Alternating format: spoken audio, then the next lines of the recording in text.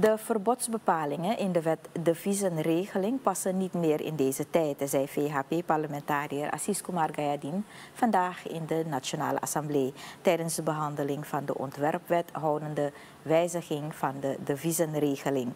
Gayadin wees erop dat deze wetgeving tot stand is gekomen in 1947 en er daarna wat liberalisatie heeft plaatsgevonden voor wat betreft het op nahouden van deviezen. Voorzitter, wat we vragen aan de minister, dat we concreet ook kunnen afspreken. Zeker uh, wat betreft updaten van onze wetgeving. Uh, dat we heel spoedig een algehele revisie van onze deviezenwet hebben. En daar uh, alle partijen, ook partijen die hier in dit land komen en wensen te investeren, um, dan ook weten dat ze niet opgescheept zitten met allerlei verbodsbepalingen. Gardin haalde verder aan dat liberalisatie zijn positieve uitkomsten kan hebben. Het kan echter beter werken dan een systeem waarbij er sprake is van het uitgeven van vergunningen waarop er dan geen controle plaatsvindt.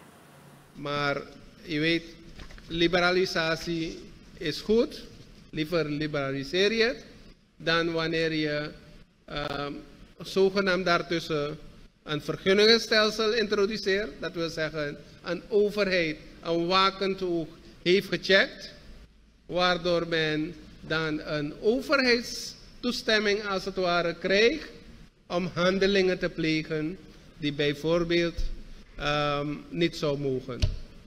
En dat is zeer gevaarlijk, want als u het niet kan controleren en dan nog die toestemming geeft, dan eh, kan, dat, um, worden, kan je dat typeren als zeer gevaarlijke ontwikkelingen. Dus vandaar mijn oproep en vraag aan de regering. Laten we een beetje concreet vaststellen, al is het eind van dit jaar, dat we zo ver zijn dat we algemene revisie doen van um, de, de visewet.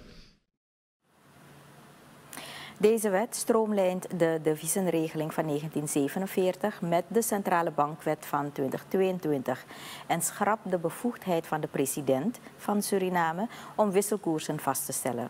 Hierdoor kan de Centrale Bank van Suriname haar officiële internationale reserves en wisselkoersbeleid effectief en onafhankelijk beheren.